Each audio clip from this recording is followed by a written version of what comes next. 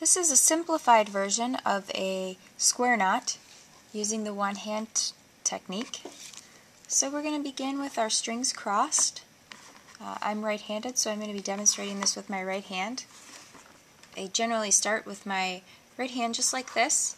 I will take the string in my left hand and kind of loop my fingers underneath it while holding the uh, other string in my right hand. Bend my middle finger and try to kind of create a little cat's cradle here. Pull the white string with my middle finger through. Now you've created your first throw. Now what you're going to do is loop the string around your finger and your thumb. Make an X along the other one. And you're going to use your index finger to pull that string through kind of becomes a sneaky finger. Um, let's do one more on top of that. So again, I'm going to take the string here in my right hand, loop, use my middle finger to kind of pinch it in there.